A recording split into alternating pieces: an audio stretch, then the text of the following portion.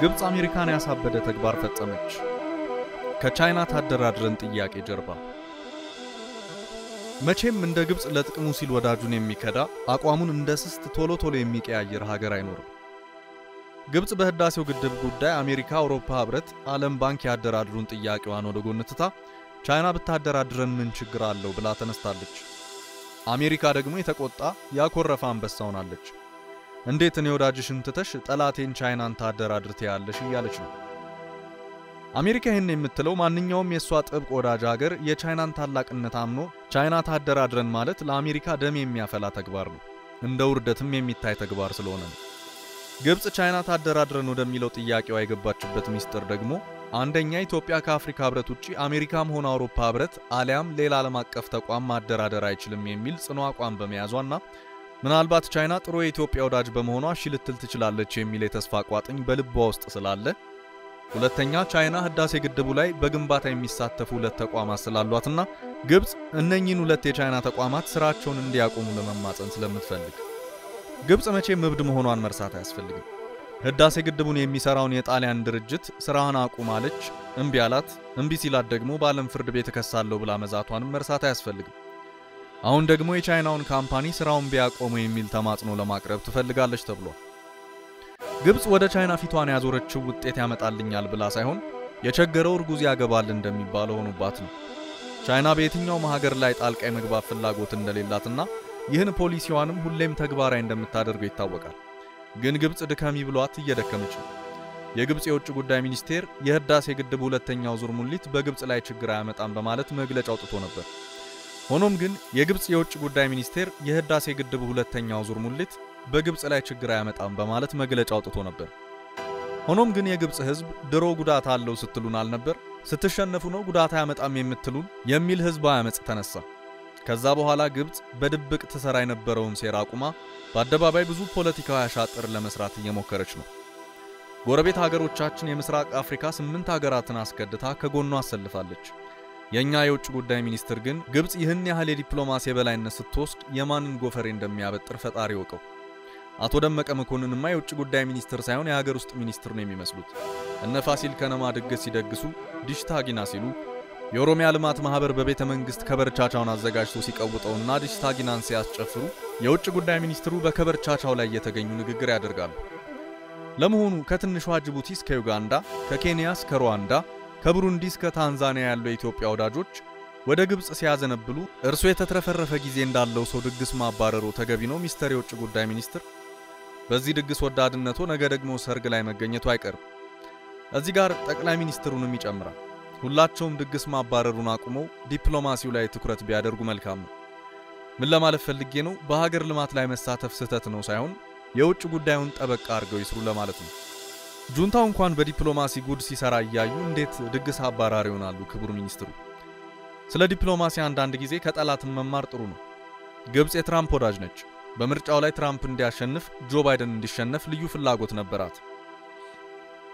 ጆ ባይደን ለኢትዮጵያ ላይ አደላ ይችላል ስትል በአደባባይ ስጋቷን ስትናገርም ተሰምታ ነበር። ግን ግብፅ አፈር ልሳ ከጆ ባይደን ጋር የሚያግባባ የ lobby ድርጅት ቀጠረች። የዲፕሎማሲ ስራዋን ከዜሮ ጀምራ ስኬት ላይ ደረሰች። ግብፅ ከጆ ባይደን ጋር ፍቅር በፍቅር ሆነች። ጎረቤት ሀገራችንን በማስከዳቱ ላይ የጆ ባይደን መንግስት እጅ ነበረበት። ዲፕሎማሲ ለሃል ነው። ኢትዮጵያ የዲፕሎማሲ ትምህርት ከጠላታችን ግብፅ ብትማር ጥሩ ነው ማለት ወደድን።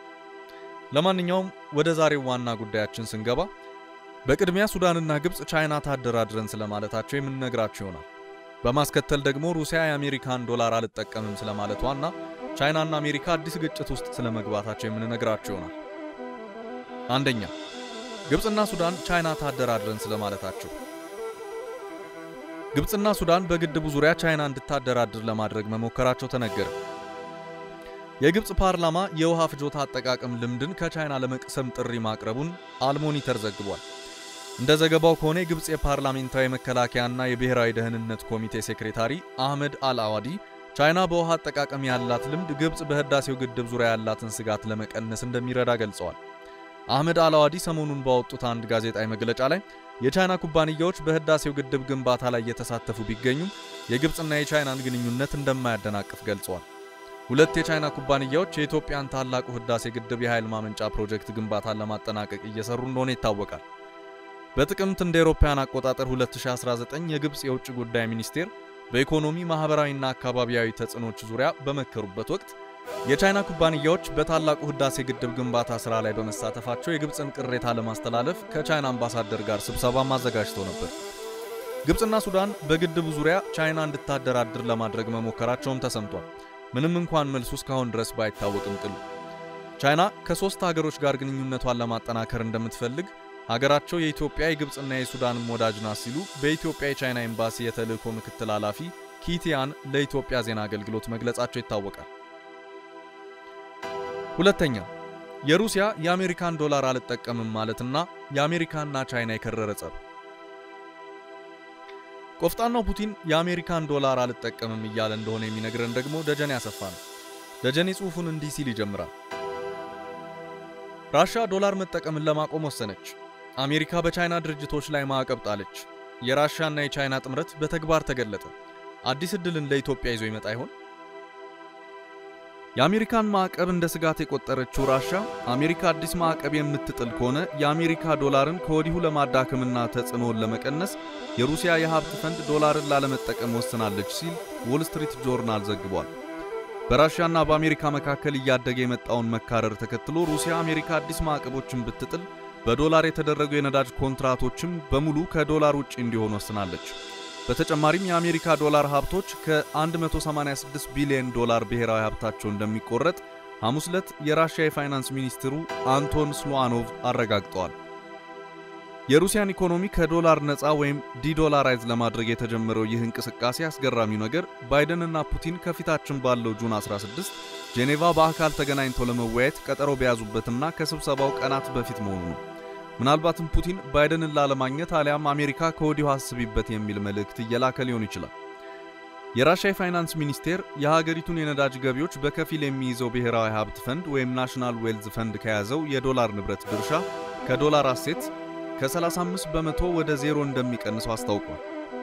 ከዚያም የ186 ቢሊዮን ዶላር ፈንድ ንብረቶቹን በዩሮ በዩዋንና በወርቅ ይይዛል ተብሏል። ይህ እርምጃ ሞስኮና ቤጂንግ የጠበቀ ግንኙነት እያጎለበቱ ባሉበት በዚህ ወቅት የቻይና ምንዛሬ በሩሲያ ውስጥ ያለውን ሚና የበለጠ ያጠናክረዋልም ተብሏል። አሰላለፉ ግልጽ ሆነ። የሩሲያ ተቀዳሚ ምክትል ጠቅላይ ሚኒስትር አንድሬ ቤሎሶቭ በሴንት ፒተርስበርግ እየተካሄደ ባለው የትልቁ የሀገሪቱ ኢኮኖሚ መድረክ የጎን ለጎን ውይይት ላይ እንደተናገሩት ይህ የራሻ ውሳኔ አስተዋይ ውሳኔ ነው ብለዋል። ይህ ውሳኔ ከአሜሪካ መሪዎች እስከዛሬ በደረሰብንና እየሰማን ካለነው ተደጋጋሚ የማዕቀብ ዛቻና ከሌሎች ነገሮች ጋር የሚያያዝ ነው ብለዋል በግልጽ። የአሜሪካና የሩሲያ ግንኙነት እየሻከረ የመጣው ከ2014 ጀምሮ ሲሆን ሩሲያ ክሪሚያን ዳግም የግዛቷ አካል ለማድረግ በጀመረችበት ወቅት ነው። በቅርቡ አፕሪል ወር ላይ ዋሽንግተን በሞስኮ ላይ ማዕቀብ መጣሏ ግን ለሀገራቱ መካረር ተጠቃሽ ምክንያት ነው። ይህም አምና በነበረው የአሜሪካ ምርጫ በ SolarWinds ና በ corporate ኮምፒውተሮች ወዘተ ላይ ራሽያ hack አድርጋለች በሚል ነው ማዕቀብ የተጣለው። ታዲያ የአሜሪካ ማዕቀብ ቀጣይነት ያለው ስጋት መሆኑን የተረዳችው ሞስኮ ኢኮኖሚዋን ከ greenback ለማላቀቅ እርምጃዎችን በማፋጠን ዶላርን ከሉዓላዊ ሀብቷ ፈንድ ልታወጣ መሆኑ ከሰሞኑ መወሰኗ አነጋጋሪ ሆኗል። ጅምር ያጸፋ ምላሽ ተደርጎም ተቆጥሯል። በአንጻሩ ሩሲያ የቻይና ገንዘብ ዩዋንን ለመጠቀም መወሰኗ የኃይል አሰላለፉን የበለጠ ግልጽ ያደርገዋል። ይህ በእንዲህ እንዳለ የባይደን አስተዳደር ቤጂንግን ያስቆጣና በባለ ሀብቶች መካከል መደናገጥን ያስከተለ ማዕቀብ ጥሏል። ይህም ከቻይና ጦር ኃይል ጋር ግንኙነት አላቸው ያለቻቸውን የቻይና የንግድ ድርጅቶችን በጥቁር መዝገብ ውስጥ በመጨመር በእነዚህ ኩባንያዎች አሜሪካውያን ኢንቨስት እንዳያደርጉ እገዳ ጥሏል። አዲስ ከተጠቀሱት ድርጅቶች ውስጥ በመንግስት ባለቤትነት ከተያዘው ግዙፍ aerospace የቻይና አየር መንገድ አቪዬሽን ጋር የተሳሰሩ ኩባንያዎችና ሁለት የቴሌኮሙኒኬሽን gear አምራች Huawei Technologies ኩባንያዎች ተካተዋል። ይህም የታገዱ የቻይና ኩባንያዎችን ጠቅላላ ቁጥር 59 ያደረሰ ሲሆን ዶናልድ ትራምፕ ትቶት የነበረውን ጠንካራ የቻይና ፖሊሲዎች የባይደን አስተዳደር እንዴት እንደቀጠለ ያሳያል ተብሏል። በአንጻሩ ቻይና በህጋዊ መንገድ የሀገሯ ኩባንያዎችን ጥቅም እንደምታስጠብቅና እንደ አስፈላጊነቱም የአጸፋ እርምጃ እንደምትወስድ በጥብቅ አስታውቃለች። በአሜሪካና ከጊዜ ወደ ጊዜ ኃይለኛ እየሆነች በመጣችው ቻይና መካከል እየጨመረ የመጣው ውዝግብ ወደ ጦርነት ግጭት ሊሸጋገሩ እንደሚችሉ በዚህ ጊዜ ግምቶች እየወጡ ይገኛሉ። ምናልባት በዚህ ጊዜ በቀጥታ ወደ ጦርነት ላይገቡ ቢችልም ፍጥጫው ጫፍ እንደደረሰ ግን ግልጽ ሆኗል። የባይደን አስተዳደር ከዚህም በኋላ በቻይናና ራሽያ ላይ በጣም ጥብቅ የሚባሉ እርምጃዎችን ይወስዳል መባሉ ውጥረቱን የበለጠ ከፍ አድርጎ ወደ ሌላ ደረጃ ሊያደርሰው ወይም ግጭቱ በተለየ መልክ ሊገለጥ እንደሚችል ስጋትን ፈጥሯል። ቻይናና ራሽያ በአንድ ላይ ሆኖ የተቀናጀ በሚመስል መልኩ አሜሪካን እንዲህ ፊት ለፊት ሲጋፈጡ ማየታችን ጉዳዩ በቀላሉ የማይረግብ ለመሆኑ አመላካች ነው። እንግዲህ ከዚህ ቀደም በተደጋጋሚ ስንል እንደቆየነው የራሽያና የቻይና ጥምረት ምናልባትም የዓለምን የኃይል ሚዛን ሊቀይረውና የዓለም አዲስ order ሊታይ ጫፍ የደረሰ ይመስላል። በዚህ የኃያላኑ ፍጥጫ ውስጥ ኢትዮጵያ የራሷን ብሔራዊ ጥቅም የምታስከብርበትና ሕዝቧን የምትጠቅምበትን አካሄድ በደንብ ማሰብና ማስላት ይገባታል። በዚህ ሂደት ውስጥ የገልፍ ሀገራት አስተላለፍም በየጊዜው እየተለዋወጠ በመሆኑ ሀገራችን ሁኔታዎችን እያጤነች በአጭር በመካከለኛና በረጅም ጊዜ ተጠቃሚ የሚያደርጋትን አካሄድ ትከተል። ሳይደግስ አይጣላም እንዲሉ ምንም እንኳን ኢትዮጵያችን በዚህ ወቅት ተግዳሮቶች ቢደቀንባትም በጣም ደስ የሚለው ነገር ብዙ አማራጭ ዕድሎችን በኢትዮጵያ ፊት ወለል ብለው ተዘርግተዋል። ዕድሎቹን በጥበብ እየተጠቀምን መሻገሪያ ድልድይ እናደርጋቸዋለን። እኛ የምንፈልገው ሰላምና እድገት ነው። ይህም ከፈጣሪ ጋር ይሳካል፣ እውን ይሆናል።